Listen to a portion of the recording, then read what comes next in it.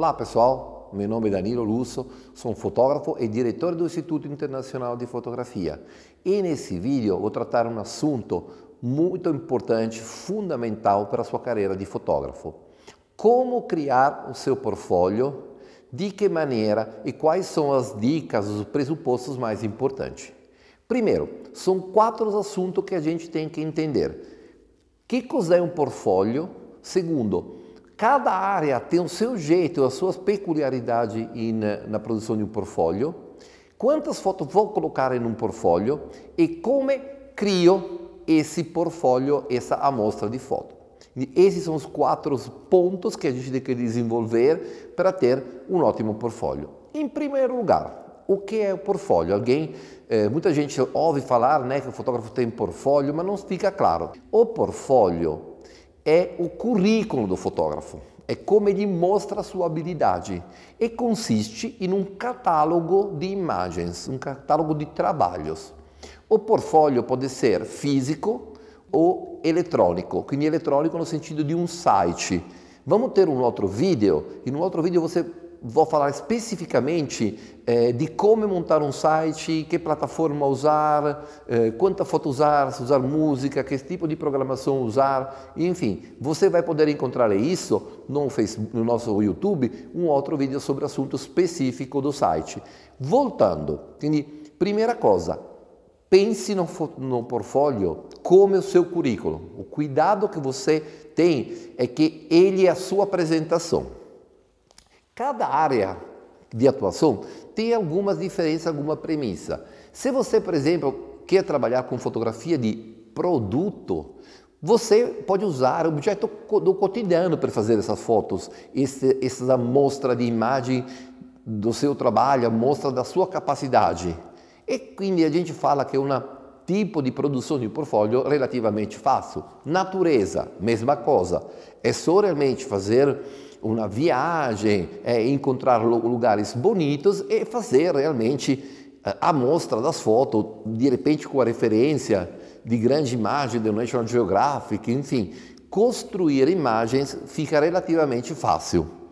Existem outras áreas em que é um pouquinho mais trabalhoso, por exemplo, na fotografia de pessoas, você tem que convidar um terceiro. Quindi assim, a gente fala que a montagem do portfólio na área de pessoas é um pouquinho uh, mais difícil, a gente fala de uma dificuldade média. É, você tem que criar ensaios, de repente tem que levar essa pessoa em uma praça, em um parque, na praia, ou encontrar um local onde fazer essas fotos. Tem um desafio técnico, de repente, se você quer fotografar é, na casa da pessoa. Enfim, a gente tem vários detalhes de cada área. Outra área, por exemplo, eventos. É, para você poder uh, fazer um portfólio de evento, você tem que registrar uh, aniversários, casamento, encontros familiares, né?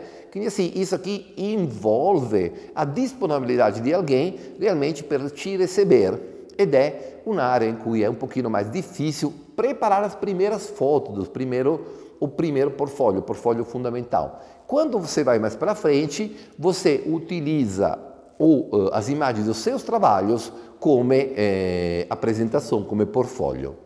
A terceira dica é quantas fotos cabem no portfólio. De quantas fotos tem que ser composto um portfólio.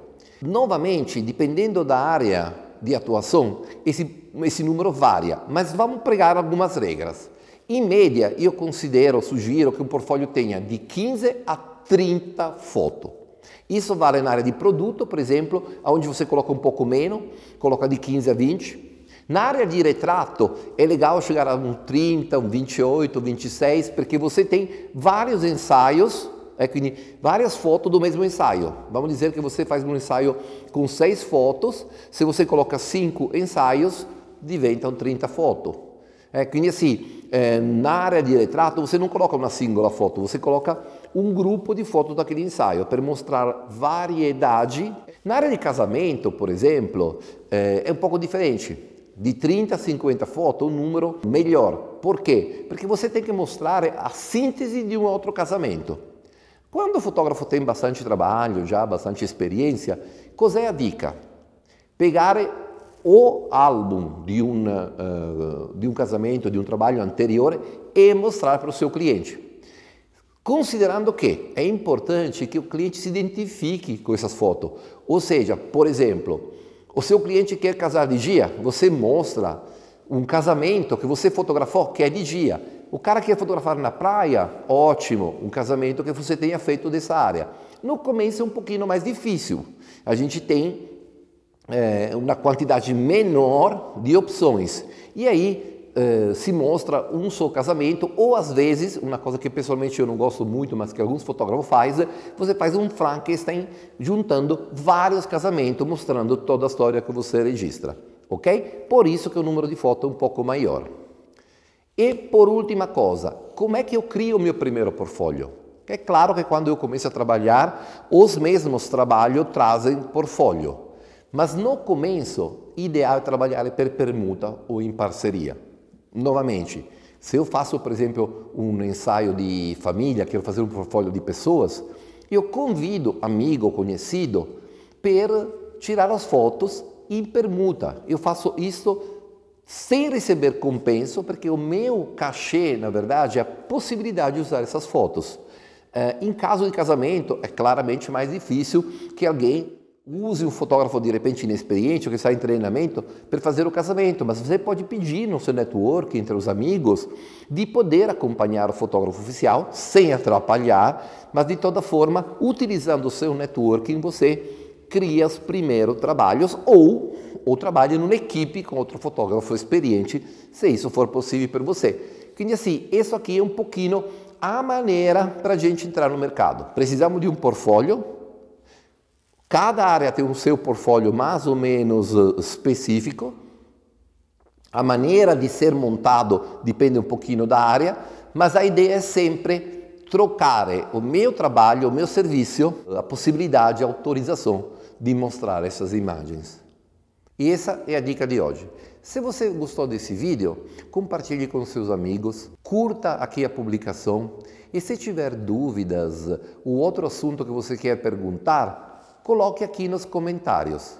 É muito importante para mim interagir com vocês e você tem a possibilidade de tirar as suas dúvidas pedindo aqui o assunto no comentário.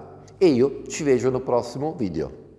Até breve para suas melhores fotos Danilo Russo.